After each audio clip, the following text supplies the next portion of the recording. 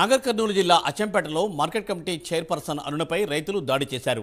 ఈ ఘటనపై పోలీసులకు అరుణ ఫిర్యాదు చేశారు. పల్లి పంటకు మంచి ధర ఇచ్చేందుకు ముందుకు వస్తున్న ఇతర ప్రాంతాలకు చెందిన వ్యాపారులను స్థానిక వ్యాపారులు రానివ్వడం లేదని రైతులు ఆగ్రహం వ్యక్తం చేశారు.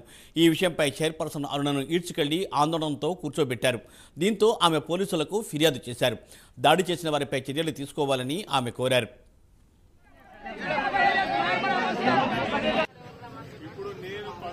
పోయి వాళ్ళకు విజ్ఞప్తి చేసిన నాలుగు వేల నుంచి మీరు మెటీరియల్ తీసుకోకూడదు